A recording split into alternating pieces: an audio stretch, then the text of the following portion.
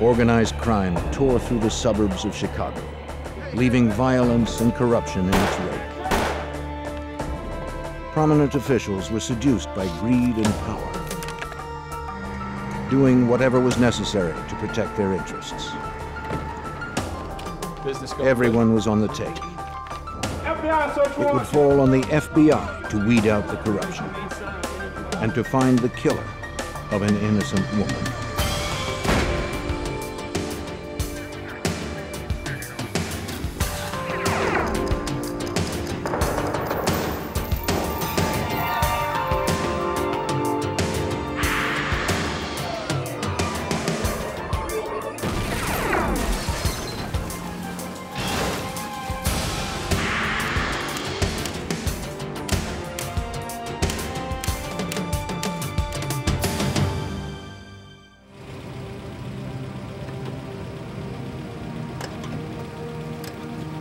Bank of a sanitary canal in a remote industrial area became the site of a gruesome crime.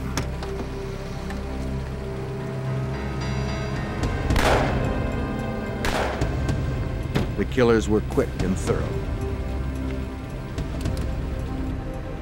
Nearby, two police officers were out on night patrol. When they heard the shots fired, they became alarmed.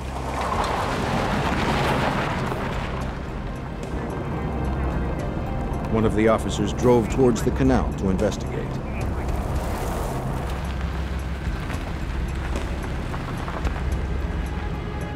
He found nothing as he searched the desolate area.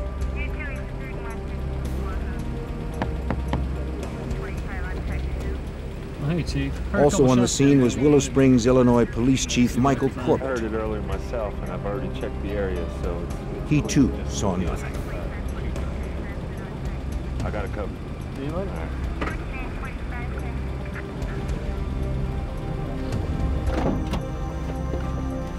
Following day, a prominent local attorney called police to report that his wife was missing.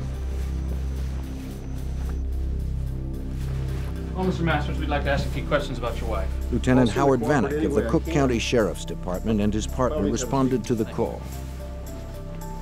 Attorney Alan Masters said that his wife Diane had been out the night before with colleagues and friends from a local college where she worked. After the meeting, some of the board members would go to a bar. She never came home. There was no sign of her yellow Cadillac. He said he made calls trying to locate her until 2 in the morning, but finally gave up. For the officers, the information offered little insight. Excuse me a minute.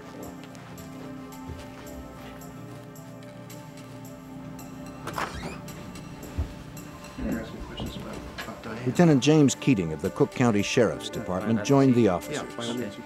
By all means, you can, you can sit down. Sir, we were just asking Mr. Masters questions about his wife's disappearance. He asked Masters if he could have a look around the Be house. happy to. Sure. yeah, by Masters means. agreed. No, not at He all. had nothing to hide. Have a seat. The officers continued their questioning. Anything else you can tell us? As far as I, as far as I Reluctantly, know, Masters uh, offered some new the some information. Somebody, somebody works for the college. He suspected that his wife Diane had been having an affair. Maybe the two lovers had run off together. I don't know who he is or what he looks like. I just have my suspicions. Excuse me, guys, I think we need to wrap this up. Lieutenant Vanek wanted to investigate further and look around the house himself. Sir, I think we need to take another look around in here. Husbands are always suspects when their wives I look around. disappear. There's nothing, nothing Sir, here. we need to look around. It's time to Something's go. missing here, Let's sir. go now. But Lieutenant Keating intervened. He Sir, wouldn't allow it. Two investigators always check out the scene. In his mind, Time everything to had go. checked Go out. now. Let's Sir. go now. Vanek was upset.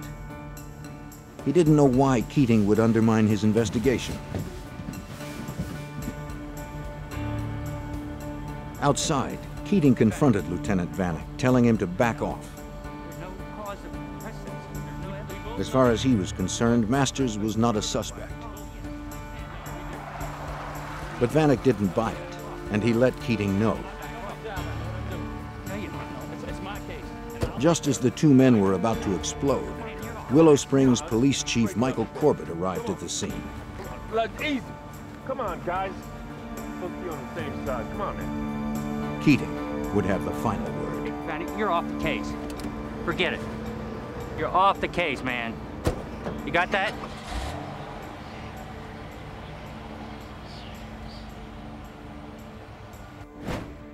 The question still remained where was Diane Masters? Her disappearance grabbed the media's attention. And Diane, if you would, please come. She had been very active in the local community.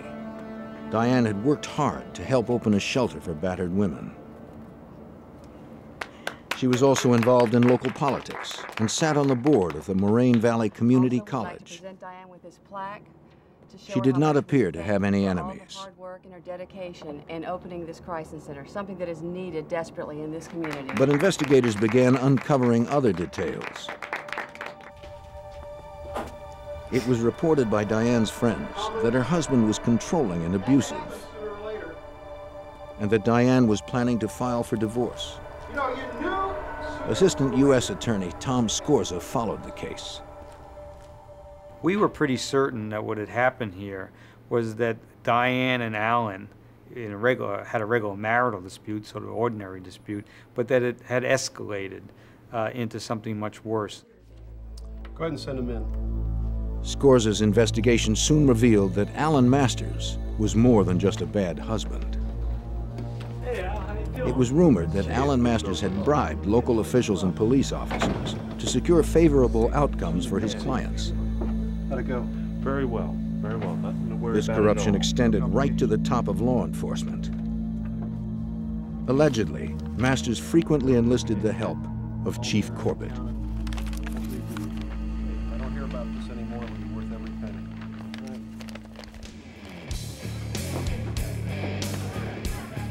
It was also rumored that Masters and Chief Corbett were involved in safeguarding some of the Chicago mob's betting and prostitution rings, which were run out of show clubs throughout suburban Cook County. But investigators were focused only on Diane's disappearance. With no evidence and few leads, that investigation stalled.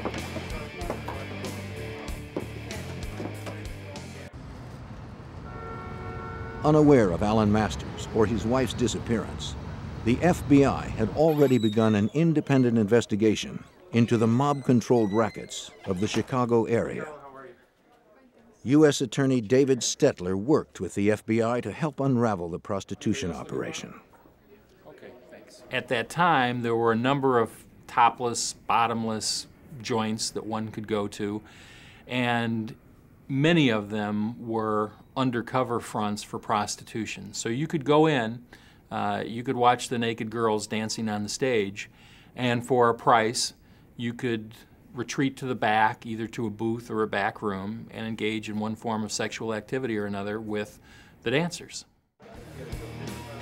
The club owners knew that their customers would spend more on drinks and prostitutes if they could use their credit cards. But the patrons were reluctant. They did not want bills arriving at their homes or businesses with charges incurred from nightclubs with seedy names. The club owners found credit card transaction companies that were willing to process the charges using false but respectable business names.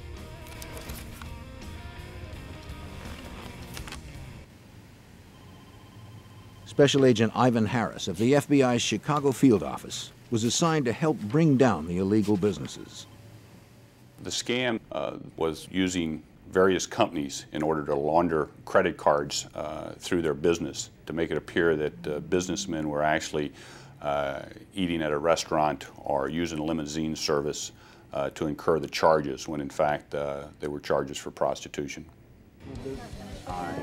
Larry Wright was one of the credit card transaction company owners. Wright would pick up the week's transactions from the clubs and process them through his company, National Credit Service, or NCS. One of his clients was a club owner named Joseph Marin, whose club was a front for a mob controlled prostitution house.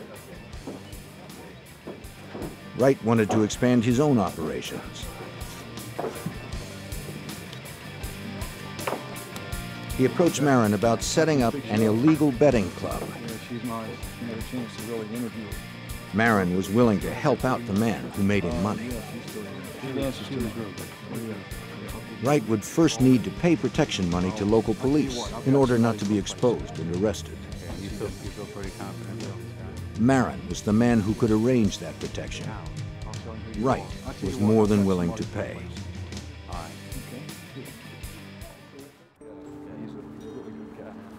Marin arranged the meeting at the Willow Springs Police Department. It was to take place with Police Chief Michael Corbett. It was believed that Corbett had been handpicked by the Chicago mob boss to oversee and protect their interests in and around Willow Springs. The word on the street, of course, was that no one could do anything in Willow Springs without the permission of uh, the chief of police, Mike Corbett. The message also was from virtually anyone you would talk to that he was so powerful, that he was so well connected, that nothing could ever be done about him. I just want to make sure I don't get any unexpected visits. Corbett agreed to help Larry Wright set up the new betting operation for a price. Not quite yet. In return, Corbett assured him he wouldn't get any heat from his officers. All right. Larry Wright was well on his way. He returned to his office at National Credit Service, operated out of a nondescript office park location. Wright worked with two other staff members, Doing great. Very great. but these were not ordinary employees. NCS was not just a credit card transaction service for illegal activities. It was a front for the FBI. Larry Wright was actually undercover special agent Larry Damron. And he and the FBI were using NCS to work their way into the heart of the corruption in Willow Springs. While local investigators struggled to unravel the disappearance of a prominent attorney's wife, the FBI had set up an undercover operation in the town of Willow Springs, just outside of Chicago. Their target, organized crime, and the corrupt police who protected them from prosecution. The undercover work was often painstaking and frustrating. FBI Special Agent Larry Damron explains the difficulties inherent in undercover work. During the course of the undercover operation, you try to immerse yourself in what you're doing and you, and you try to assume that role because it's necessary for you to do that in order to uh, accomplish anything. Oftentimes you'll hear people make comments or you'll see people do things that uh, in any other circumstance they would be arrested for immediately. And so what you have to remember is you're in a role and you play that role out. Damron had heard stories about how the mob resolved problems.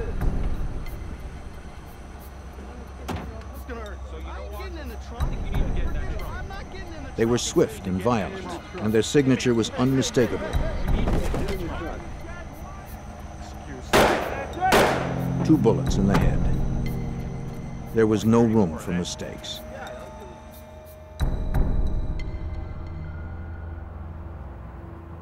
Victor Spilotro, a player in Chicago's organized crime, approached Damron at NCS. Though Victor himself wielded little power, his brothers held tremendous influence within the mob's hierarchy. Damron was starting to move into the center of the violent Chicago underworld. The Spilotros were one of the best known names uh, of mobsters in Chicago. Uh, the uh, older brother, uh, Tony, was the boss in Las Vegas. He represented the Chicago outfit uh, for their interests in Las Vegas. Um, had been a prominent figure and had been uh, widely mentioned in the paper as having been involved in murders and extortions and things like that. Agent Damron quickly developed a reputation as an effective businessman in laundering money for mob operations. Sure everything's all right? Spilotro knew of NCS's activities with the local nightclubs. They were under his control. Really appreciate what you're doing. Good, everything's going good with the business? Yes, it's going great. That's great. Good. He told Damron he would have to pay him a cut to stay in business. I'm glad you appreciate what we do for you. Okay, well, that's really good. Damron had no objection. Really, really, well, The level that we had there is we were paying protection to a fairly important uh, aspect of the mob, the Spilotro family. And so that gave us a little bit of uh, uh, status, if you will, but we had absolutely no authority or anything like that in the mob. We were just workers, and our value was we made them money.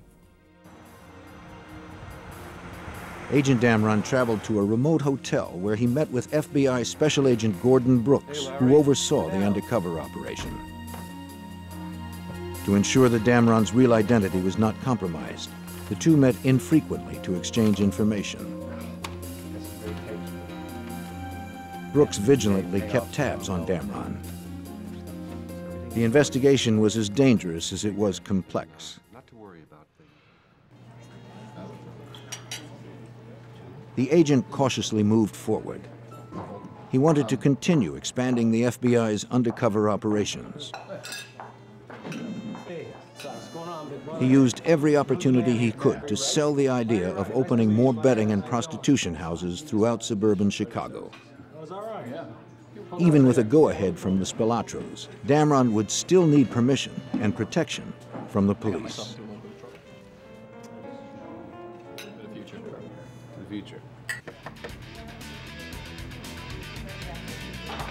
He met with nightclub owner Joseph Marin to hash out the details of the new clubs and secure police protection.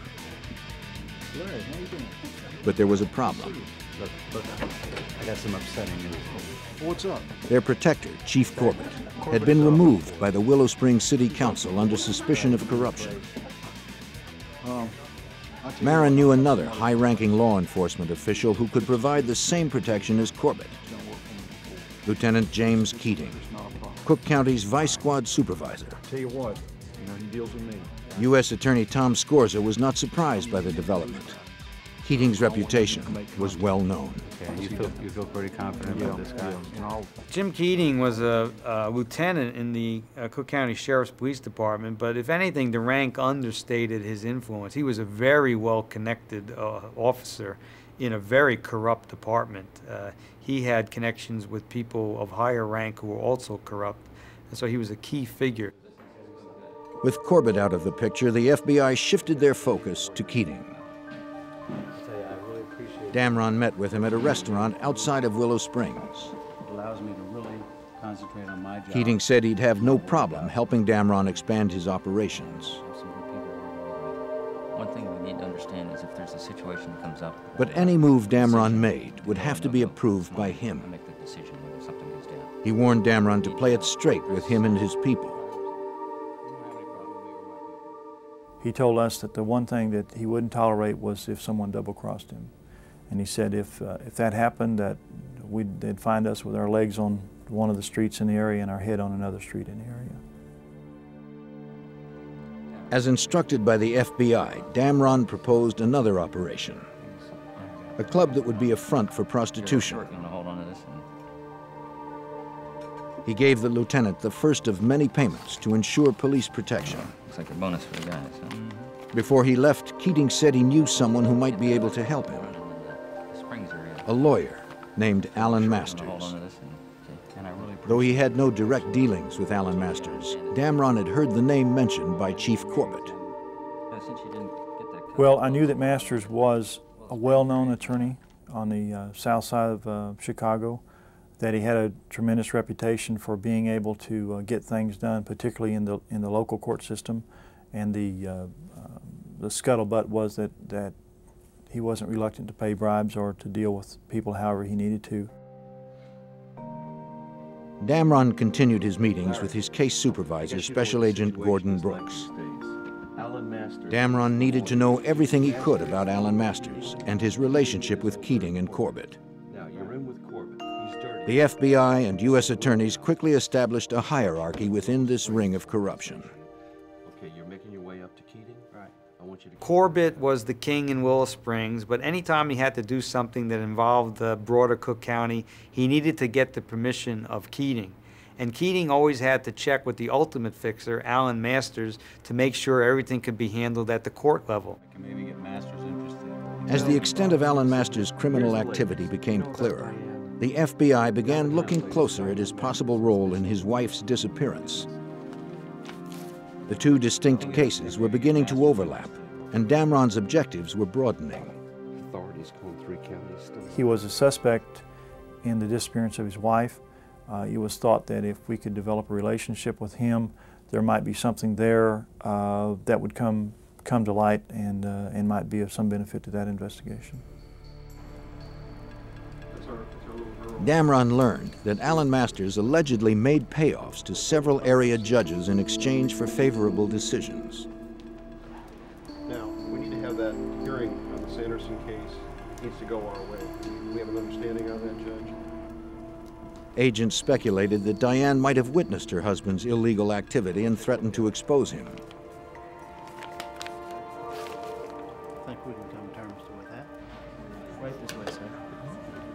Now trying to elicit information about Diane's disappearance, Damron continued his efforts to make inroads into the corruption around Willow Springs. He met with Keating several weeks later to follow up on his plan to open a show club. A good manager lined up. Oh, I've got a, Again, Keating mentioned that his friend Alan Masters could help. take care of that. He's a real fixer. Damron took the opportunity to bring up Alan's wife. Keating said little, but then added an unusual comment. The same plan we had with the other one. Probably heard him and seen him. We talked uh, about Masters' wife uh, turning up missing, and Keating said, "Well, she turned up missing like the day before the divorce was going to be filed," That was convenient, wasn't it? It was convenient. and chuckled about what a what a good circumstance that was.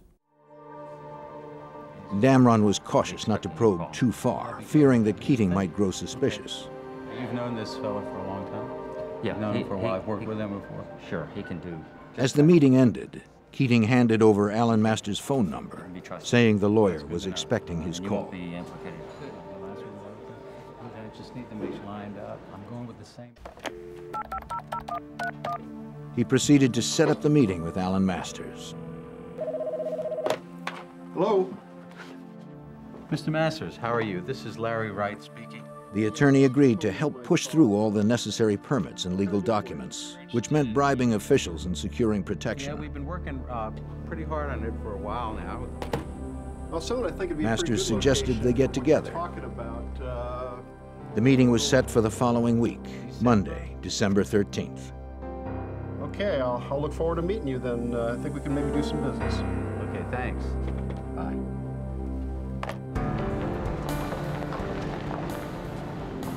Before the meeting would take place, however, a police officer on routine patrol near the sanitary canal area in Willow Springs noticed something unusual. Tire tracks led directly into the canal. He immediately called for assistance. Little did he know that the lid was about to come off the underworld in Willow Springs.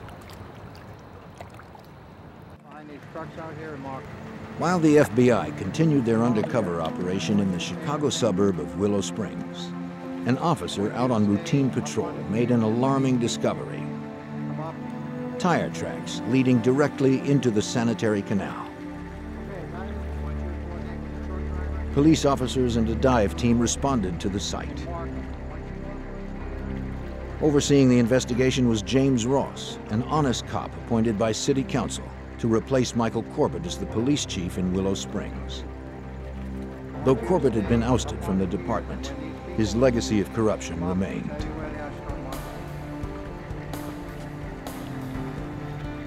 Below the surface, divers found a virtual underwater parking lot. 82 cars lined the bottom of the polluted canal. U.S. Attorney Tom Scorza believed he knew why the cars were there. And who could make a profit by allowing them to be dumped without a police investigation?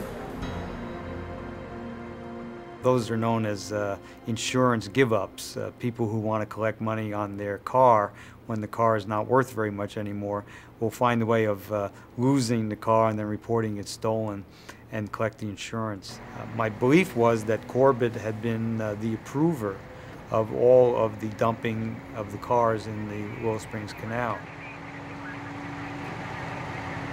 By nighttime, a third car had been dredged up, a yellow Cadillac.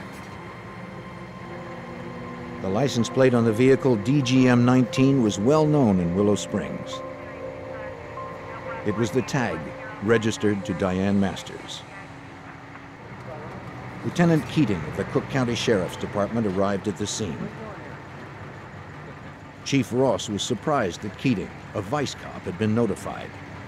He asked Keating why he was there. Keating had no response.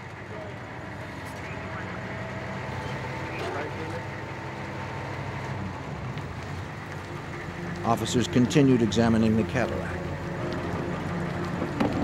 When they pried open the trunk, they discovered a decomposed body.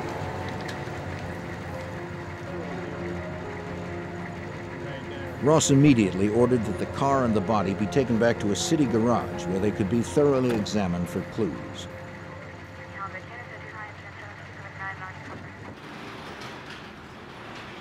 The decision not to use the police garage was well reasoned. Chief Ross knew this case potentially had far reaching implications, and he couldn't trust his own officers. The fewer people nosing around, the better.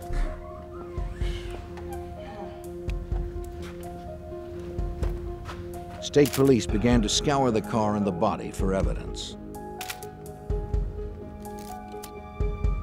They found 22 caliber shell casings in the trunk.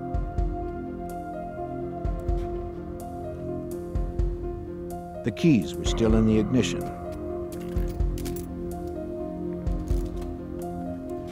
Eerily, the watch on the deceased body and the dashboard clock had stopped at exactly the same time, 150.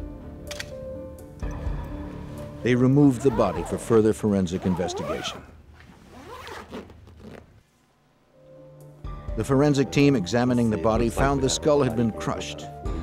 They also discovered two bullet hole entries in the left cheekbone. The bullet fragments inside the skull were removed and sent off to the FBI lab for ballistic evaluation.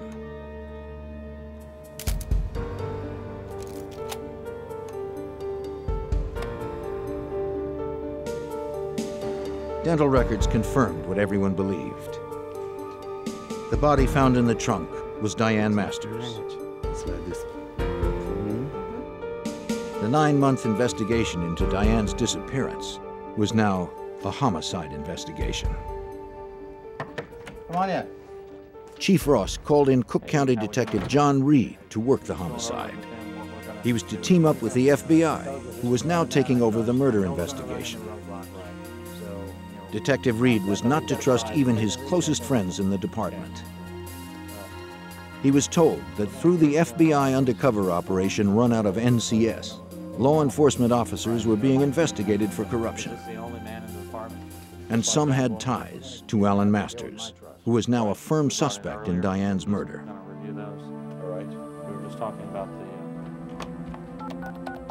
As Agent Harris and Detective Reed initiated their murder investigation, Agent Damron continued his undercover operation. Uh, today to set up a time and place for our meeting. He called Alan Masters to confirm their meeting to set up the show club. Jammed. I expect to be in court all day tomorrow. I'm sorry. Well, Masters uh, was evasive and seemed week's okay, distracted. too, if that's okay with you. Maybe we can, maybe we can work something out then. Just, yeah, give me some time. He canceled the meeting. Okay, thanks,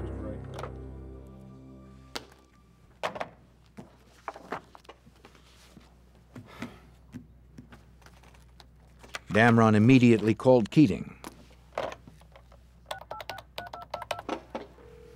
With the conversation being Keating. recorded by the FBI, he hoped Keating would explain why Masters was being evasive. No, I was wondering if you had any information on that. As I said, he's uh, pretty busy. Uh, how about if you give me a call in three or four weeks? But Keating was cryptic. Maybe we can work something out then. He instructed Damron not to bother Masters. He had too many problems to deal with. Okay, The new show club would have to wait.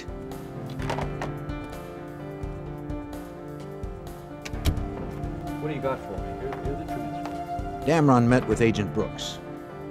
Masters and Keating both appeared nervous since Diane's body had been discovered. But that was hardly enough evidence to prosecute either of them for murder. Perhaps Damron had overlooked something. He handed over his tape-recorded conversations with Keating. That, this is gonna nail him. We're gonna get him. Can you play that again, please? Mm-hmm. Over the next several months, the U.S. Attorney's Office, the Cook County Sheriff's Department, and the FBI began the process of merging the various investigations. All right. Well, The link between them was Alan handiwork, just been listening Masters, to this tape. Cook County Lieutenant James Keating, and former Willow Springs Police Chief Michael Corbett. If that's the case, and if we can put, if we can It would fall on prosecutors to begin constructing a case proving that the three men and all of their activities represented an ongoing organized criminal enterprise. And we can get that, the, the RICO uh, prosecution happening. That's right. And what we had to do in order to prosecute Masters and Corbett and Keating for a collection of their activities, including the homicide, we had to show that they made up a criminal organization, a mini mafia. Appreciate you meeting with us tonight, Mrs. Capstaff. Um, Well, if you guys. Detective Reed and Agent Harris's first step was to question Diane's friends who had been with her on the night she disappeared. Okay. You said that you uh, followed her home that night. One of Diane's colleagues, Genevieve Capstaff, had actually followed Diane home that evening after a board meeting. And so I just wanted to see, so I followed her.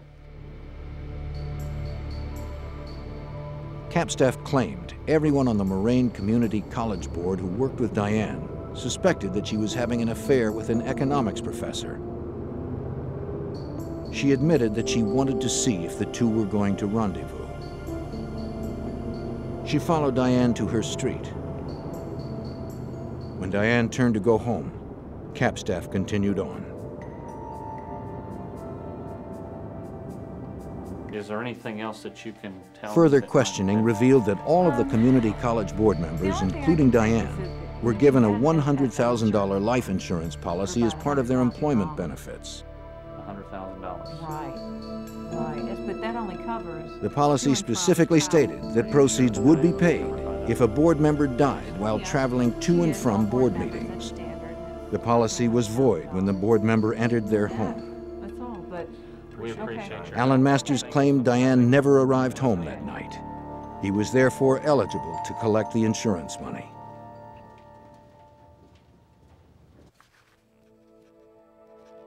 Several months before Diane's body was discovered in the trunk of her car, Masters filed a claim with the insurance company. After filling out all the paperwork, he sent it off. Though Diane's fate at that time was unclear, Masters had a judge declare her legally dead. As a result, he was about to receive $100,000.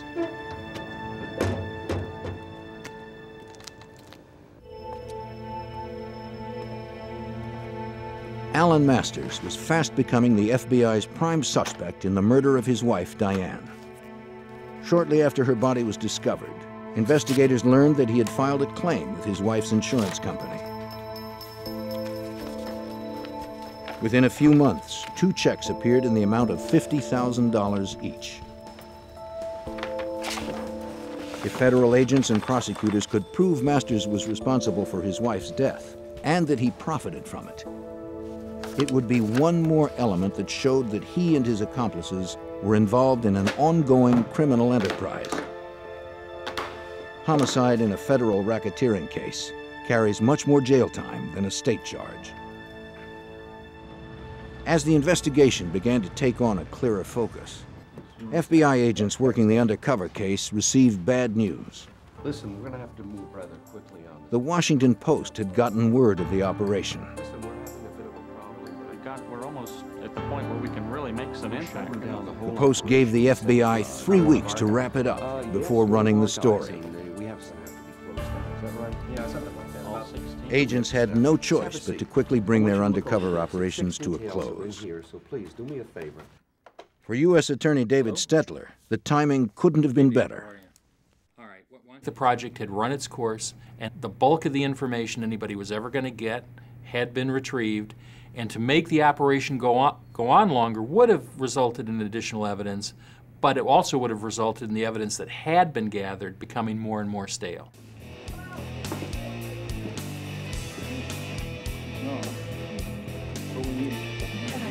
Agents had meticulously pieced together the web of corruption that extended to the nightclubs under mob control.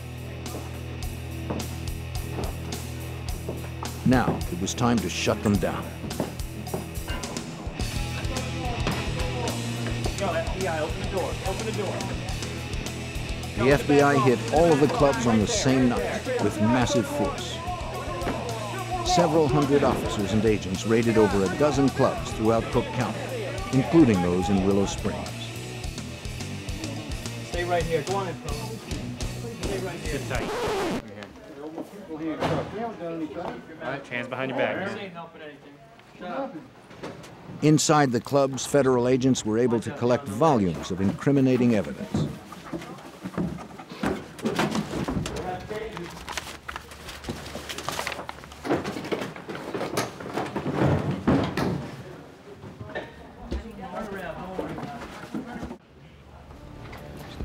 Fifty-five people were indicted, including club owner Joseph Marin, Tony Spilotro, and his brother Victor. They were prosecuted in both the state and federal courts for extortion, prostitution, bribery, and racketeering. Several deputies from the Cook County Sheriff's Department and officers from the Willow Springs Police Department were also indicted and convicted for protecting these businesses. After three years of undercover work, the sting operation was now officially closed. What's the? For undercover Special Agent Larry Damron, it was finally time to leave the role of Larry Wright. I would say the finish was elation and disappointment at the same time. Disappointment that uh, there were so many opportunities out there to, to identify other criminal activity. We knew that, uh, that it was a good job, that we had gathered tremendous amounts of evidence, and that we had a, a real insight into uh, some of the criminal activity that was taking place that we hadn't had before. Alan Masters. Local authorities, the FBI, and prosecutors could now focus exclusively on the Diane Masters murder investigation. They continued questioning her friends and associates, including the man with whom she was allegedly having an affair, Uh, there were other things that happened. economics professor Jim Koselniak. He was, he was not, he was not, uh, He confirmed that he and Diane had a relationship. He also claimed that Masters had abused Diane physically, mentally, and emotionally. we were at one of our favorite She lived in fear of her had a couple husband. Glasses of wine together, and Diane and I. were Diane had told him she planned to file for divorce. Koselniak also had reason to fear Alan Masters. One night, Koselniak and Diane had met for drinks at a local bar. He recalled that Diane called home to check on her daughter. Instead of getting the babysitter on the phone, Alan unexpectedly answered. Alan? He suspected she was with her lover. Um, I, I didn't know you were He was irate and began to threaten. I threaten was her. calling to check on Andra. He vowed to destroy her.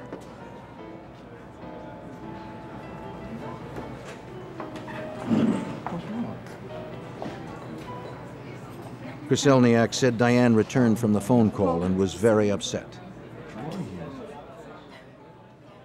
He went to the bar for more drinks. There, a man suddenly confronted him and began firing off a series of questions. Uh, yes, I did. The man never identified himself. 10, 12 years. What's your name? He asked Koselniak's name and where he worked. Kosilniak. Silnia. Though the man said little else, Koselniak felt he had just received a threat. Stay away from Diane.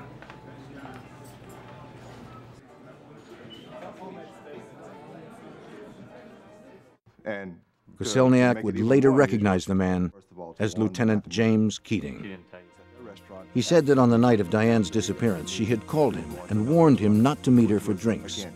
So this was an unusual move on her part. They usually got together after her college board meetings. Something was up with Alan. What was the tone of voice? Lately, she had been troubled by Alan's behavior. I mean, that they were going to another restaurant. Koselniak took her advice and canceled their plans. at the same place. He never saw Diane again. The always straight to RDG. on the way now. Agent Harris and Detective Reed continued to develop witnesses. Hey, let you come by. They discovered that Masters had hired a private investigator to keep tabs on Diane. That his wife Diane. We subsequently developed a cooperating individual named Ted Nakaza, who was a private investigator with uh, Alan Masters. Uh, Masters had requested Ted Nakaza to place a bug on his home telephone number because he suspected his wife Diane uh, was having an affair. I got a few tapes. Hey, what do you guys got for me?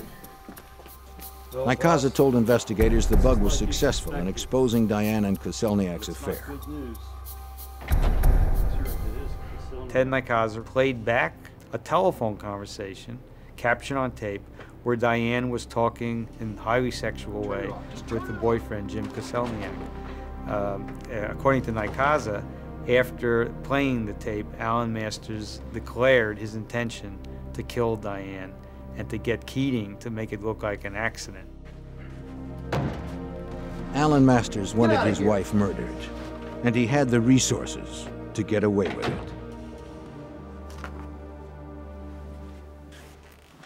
The FBI and local authorities continued to uncover evidence against Alan Masters and his associates that pointed towards a conspiracy to murder Alan's wife, Diane. Through a private investigator hired by Alan Masters, Diane's affair had been exposed. Alan's rage was out of control. But investigators had no hard evidence to charge him with murder. After an exhaustive five-year investigation, that was about to change. He intended to have Diane killed. They uncovered a Cook County Sheriff's deputy who was willing to talk. Agent Harris. Deputy Jack Bachman had startling information. Keating brought me into Bachman had been too afraid of the consequences of coming forward on his own. Say any more? He claimed that he had been approached to kill Diane.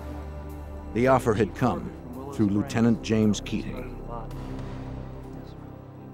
Bachman had a series of conversations with Keating, and ultimately Keating asked Bachman if Bachman would be interested in the job of actually stalking and killing Diane Masters.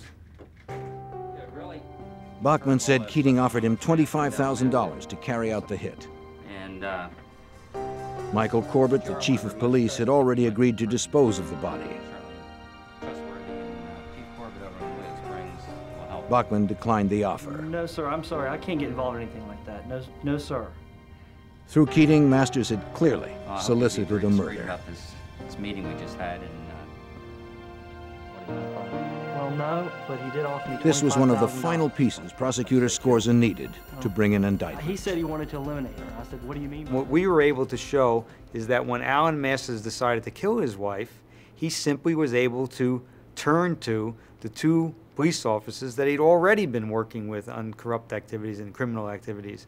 And that made the homicide and the planning of it and the solicitation of it, it made it an activity of the criminal enterprise. The pieces had finally come together. And Diane Masters decided Investigators put together a likely scenario of Diane Masters' murder.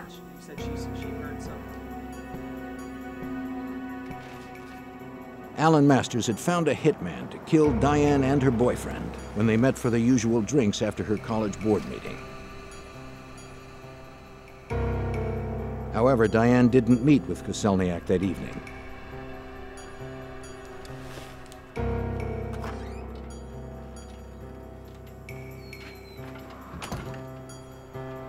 You're home late tonight. Meeting ran late. Furious, Masters took matters into his own hands. Alan Masters was at home babysitting their young daughter. He was setting up his alibi by making long distance calls all night to prove that he was home. He never expected his wife to walk in the door. She did. She began the process of getting undressed, and he hit her with a uh, blunt instrument, two uh, blows to the head. Masters then called Chief Corbett, who came with an unknown accomplice to dispose of the body. They dumped Diane's body in the trunk of her Cadillac. Corbett then drove away with the accomplice following him. Masters remained at home with his daughter.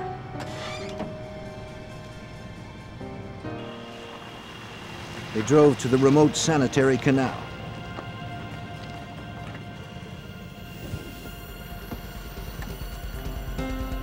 Diane's watch was reset to throw investigators off the trail should her body ever be found. They then fired two shots into her head. They wanted it to look like a mob hit. They also reset the dashboard clock to 150.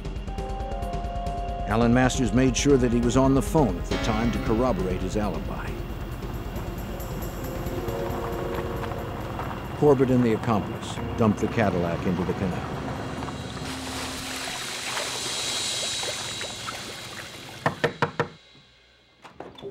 In June of 1988, six years after Diane's murder, investigators brought charges against the three conspirators. Former police chief Michael Corbett was the first arrested on federal charges of racketeering, bribery, and conspiracy to solicit and cover up the murder of Diane Masters. Special Agent Ivan Harris tried to elicit a confession. Mike Corbett uh, subsequently confessed that he was, in fact, the person that had put uh, Diane Masters' car in the canal. Uh, he disavowed any knowledge, knowing that she was in the trunk of the car at that time.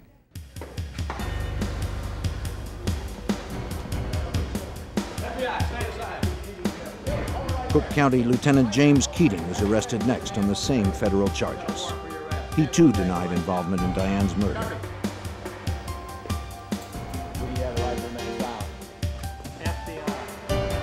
And finally, Alan Masters. In addition to racketeering and bribery, the indictment against Alan Masters charged that he planned, solicited, and aided and abetted the murder of his wife. If you wish one. Prosecutors would not have enough hard evidence to charge any of the conspirators with the actual murder of Diane. Prosecutor Tom Scorza was able to successfully tie all of their criminal activities together for the jury. Masters was convicted on all counts. Collecting the $100,000 insurance money after having his wife murdered also made him guilty of mail fraud. He received a total of 40 years, effectively, to the end of his life. Former Chief Michael Corbett received 20 years. James Keating was convicted and sentenced to over 30 years. The Masters case was special in my experience because there was no one single piece of evidence proving guilt.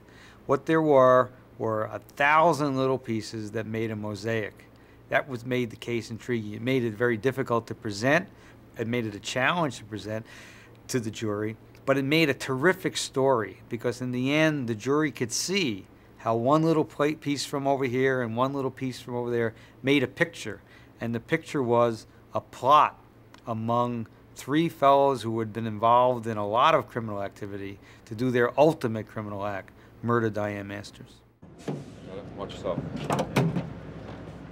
The undercover investigation that Agent Damron oversaw, and the work of several other FBI agents, exposed a deeply rooted corruption throughout Cook County and brought it to its ultimate demise. By weeding out these pockets of corruption, the people living in the suburbs of Chicago no longer have to live with the lawlessness that threatened to destroy their community.